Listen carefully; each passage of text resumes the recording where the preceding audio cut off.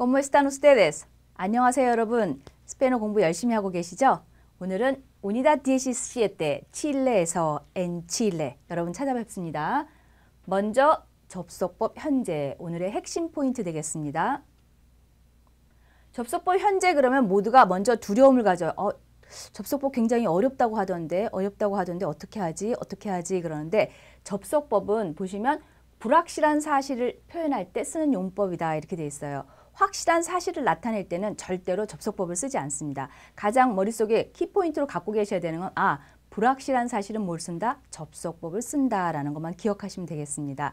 자, 좀 이따 좀 더 자세히 살펴보고 먼저 형태를 보죠. 자, 접속법의 형태는 특이해요. 그죠? 자, 우리가 알고 있는 아르로 끝나는 동사는 에르와 이르로 끝나는 동사처럼 바꾸시면 돼요.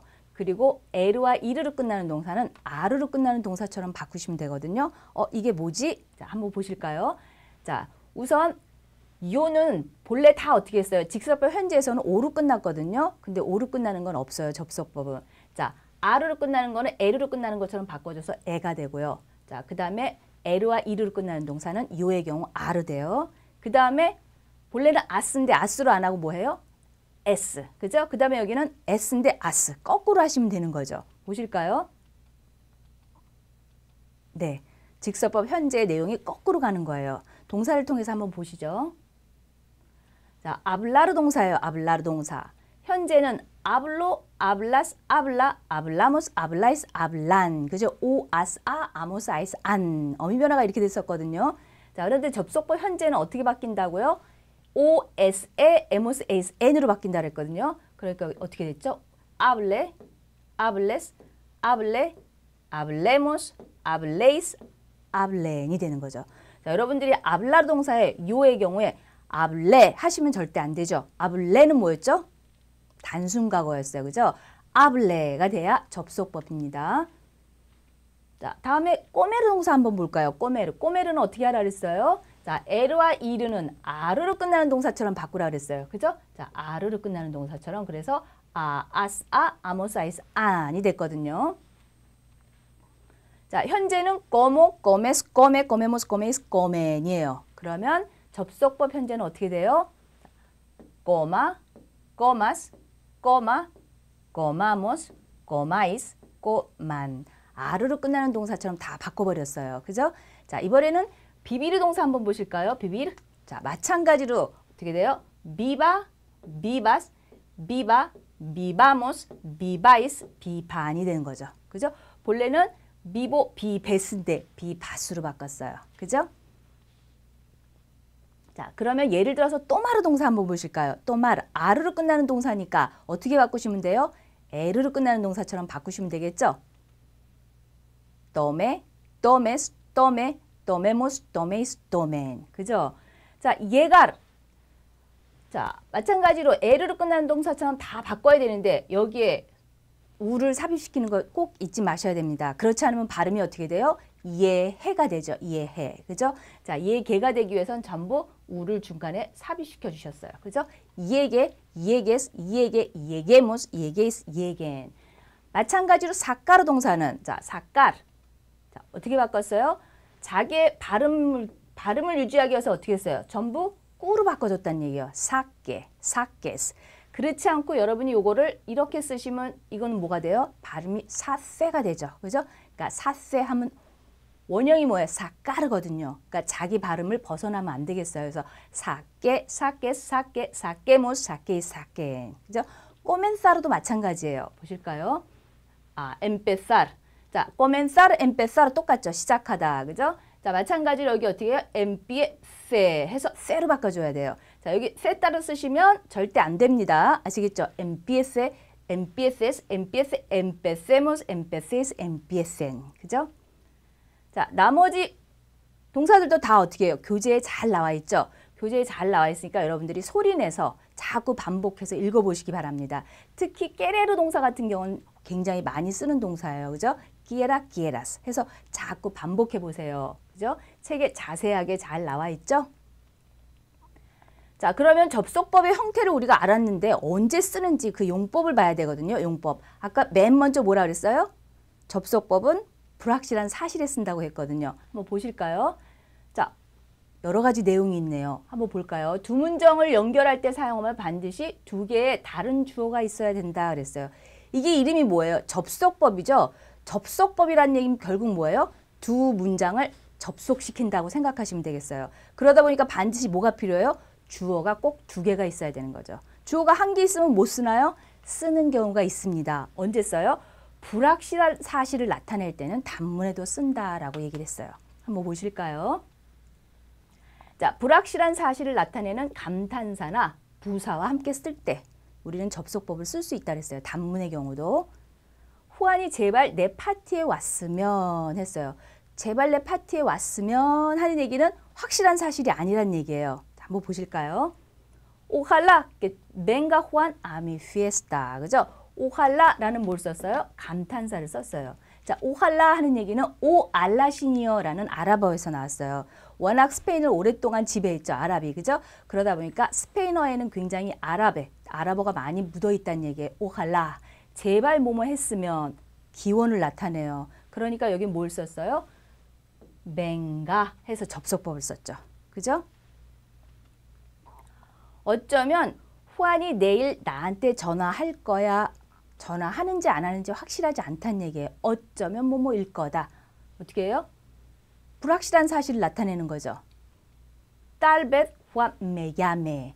딸벳 어쩌면 뭐뭐이다 라는 부사가 왔어요. 그죠? 그러니까 여기 뭐가 왔어요? 야메 해서 접속법을 썼다는 얘기죠. 자, 다음은 두 개의 다른 주어가 나오는 복문. 복문에 쓴다 그랬어요. 그죠? 자, 복문. 가장 중요한 거는 아까 말씀드렸죠? 불확실한 사실을 나타낸다 그랬어요. 불확실한 사실. 즉 의심이나 감정이나 희망, 요구, 명령, 충고 이런 것들은 다 확실하지 않다는 얘기예요. 자, 예문을 통해서 한번 볼까요? 나는 내가 내일 비가 올 것이라고 믿지 않는다 그랬어요. 나는 내일 비가 올 거라고 믿지 않는다. 뭘 나타내요? 의심을 나타내는 거죠. 의심. 그죠? No creo que llueva mañana. 자, 이 문장은 두 개가 어떻게 지금 접속 접속된 거예요. 그죠? 자, no creo. 나는 안 믿는다. 그죠? 한 문장. 그다음에 비가 온다. 내일 비가 온다. 그럼 본래 어떻게 돼야 돼요? 유예배. 마냐나 유예배가 돼야 되겠죠. 근데 두 문장을 연결시키면서 주절의 내용이 뭐가 됐어요? 의심이 되다 보니까 종속절에는 뭐가 왔어요? 접속법이 왔다는 얘기죠. 나는 내가 말하는 모든 것이 사실이라는 것을 믿지 않는다. 마찬가지로 의심이 돼요. 자, 보실까요? Dudo que sea verdad todo lo que cuentas. 자, 여기도 마찬가지로 dudo. 나는 믿지 않는다. 뭘 안 믿어요? 네가 말하는 모든 것. 모든 것을 안 믿는다는 얘기예요. 그죠? 자, 그러니까 여기는 뭐가 왔어요? 접속법이 왔다는 얘기죠. sea. 이번에는 감정의 예문이네요. 자, 나는 내가 스페인에, 스페인에 갈 수 있어서 참 기쁘다. 기쁘다. 그죠? Me alegro de que puedas ir a España. 자, me alegro de alegrarse 대가 되겠죠. 기쁘다라는 동사예요. 그죠? 나는 기쁜데 왜 기뻐요? 네가 갈 수 있는 거예요. 본래는 어떻게 puedes ir인데 두 문장이 합쳐지니까 puedas 접속법이 된 거죠. 또 다른 예문 보겠습니다. 내가 못 온다고 해서 참 유감이다. 마찬가지로 나의 감정을 나타내겠죠. Es una pena que no puedas venir. Es una pena. 어, 너무 유감이다. 그죠? 감정이에요. 그러니까 no puedas. 접속법을 썼습니다. 자, 이번에는 희망에 대한 내용이네요. 희망. 그죠? 희망. 나는 내 아이들이 의사가 되기를 원한다. 원하는 건 내가 원하는 거고 의사는 누가 돼요? 아들이 되는 거거든요. 그죠? 자, 한번 보실까요? quiero que mi hijo sea médico. 두 문장을 연결했죠. yo quiero. 나는 원해. 뭐를? 내 아들이 sea 접속법을 썼어요. 의사가 되기를 원한다. 다른 예문 보겠습니다. 자, 나는 내가 잘 있기를 바래. 나는 내가 잘 있기를 바래. 마찬가지로 바라는 건 내가 바라는 거고 잘 있는 건 누가 잘 있는 거예요? 네가. 그죠? Espero que estés bien. Espero que estés bien. 여기에 접속법을 썼죠. estés bien. 자, 다음 예문은 요구 사항이네요. 그죠? 어머니에게 아무 말도 하지 말아줘. 뭘 얘기해요? 부탁이에요. 그죠? 요구하는 거죠. 자, 예문 한번 보실까요? Te ruego, te ruego 간청하는 거예요. 뭐를? Que no le digas nada a mi madre. No le digas. 말하지 않기를 부탁하는 거죠. 그죠? 변호사가 서명하기 전에 계약서를 읽으라고 나한테 충고한다. 충고의 개념이에요. 보실까요? El abogado me recomienda. 자, 동사가 me recomienda. 나한테 충고한다, 권고한다. 뭐를? 자, que lea bien el contrato antes de firmar. 자, 어떻게 해요? 서명하기 전에 읽으라고 했거든요. 그러니까 읽는 거를 뭘로 썼어요? 여기서 접속법 레아가 된 거죠. 그 외에도 또 접속법을 필요로 하는 동사는 참으로 많습니다. 예를 들어서 querer, esperar, desear, dudar, permitir, exigir, pedir, prohibir, aconsejar, recomendar 다 어디에 되는 어디에 해당하는 동사예요? 하나하나 살펴보면 의심, 희망, 감정, 요구, 명령, 충고 다 여기에 해당하는 동사죠. 그죠? 여러분이 접속법 하면 가장 머리에 딱 새겨둬야 하는 거는 아 불확실한 걸 쓴다 라고 생각하시면 되고 주절과 종속절의 주어가 반드시 두 개여야 된다라는 것과 단문인 경우도 쓰긴 쓰지만 어떤 경우에만 쓴다? 불확실한 경우, 확실하지 않을 때, 그죠? 기원 같은 거를 나타낼 때 쓴다라는 것만 기억하시면 특별히 접속법을 쓰는데 어려움은 없으실 거예요. 자, 책에 워낙 잘 돼 있으니까 여러분 자꾸 보시고 또 보시고 큰 소리로 내서 읽으시면서 여러분 걸로 만드시면 되겠습니다. 아시겠죠? 오늘 접속법 공부는 여기까지 하고 좀 이따 다시 알베르토 선생님과 함께 회화 시간에 찾아뵐게요. 문법 공부 잘하고 오셨죠?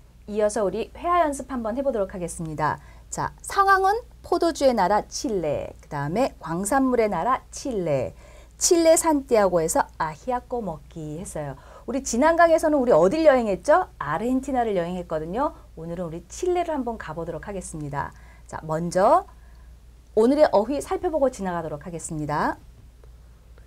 Vino tinto, vino blanco, el rosado, mejor, pisco sour, chileno, la próxima vez. 네, 여러분들 여기서 보시면서 레드 와인, 화이트 와인 똑같이 쓰인 것 같은데 로즈 와인 해놓고 여기는 el rosado 이렇게 돼 있거든요. 왜 이럴까 궁금할 수 있는데요. 여기 el과 rosado 사이에는 vino가 빠져 있어요. el vino rosado가 되는 겁니다. 아시겠죠? 자, 다음 표현 보실까요? 자, 이번에는 회화로 들어가네요. 회화를 통해서 한번 살펴보도록 하죠. Ayer estuve tomando vino con unos amigos. Estuvo muy bueno. ¿Qué vinos tomaste? Y probé el vino tinto, el mm, blanco y el rosado. ¿Y cuál te gustó más? Para mí el mejor fue el vino tinto. Espero que pruebes un pisco sour chileno la próxima vez. 자, 다시 한번 들어보도록 하겠습니다. Ayer estuve tomando vino con unos amigos. Estuvo muy bueno. ¿Y qué vinos tomaste? Probé el vino tinto, el blanco y el rosado. ¿Y cuál te gustó más? Para mí, el mejor fue el vino tinto. Espero que pruebes un pisco sour chileno la próxima vez. 네. 자, 앞에서 말씀드렸죠?